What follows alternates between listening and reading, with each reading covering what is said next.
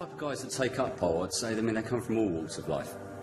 Some really great personalities that come into it, you know, and they've all got their own reasons and goals for, for taking up pole. Uh, some people just, you know, some guys just want to take it up for just for the fitness side of it. Uh, a lot of guys have seen what I do with my performances and competitions, and they take it up because they want to then obviously do the same as I'm doing. So, you know, they always want to learn different elements of this of this art. So um, I got into pole fitness. Um, it's got to be nearly five years ago now and I came from a dance background. Well, the street dance was done sort of mainly on a part-time basis. I was still doing obviously a full-time job. Um, I was actually working in the motor industry.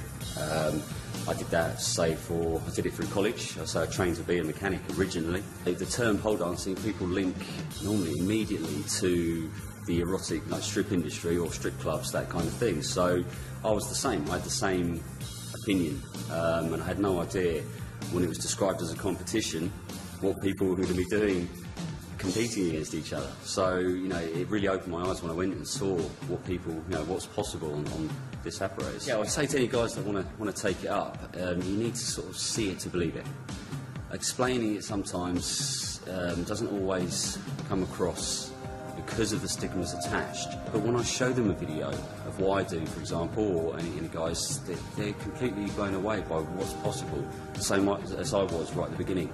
So I'd say that give it a chance and really sort of have a look and sort of, you know, if you're really interested in doing it, then really sort of take it in and really look into it and don't switch off because of the, the stigma. You really want to sort of open your eyes to it and see exactly what's possible with this apparatus.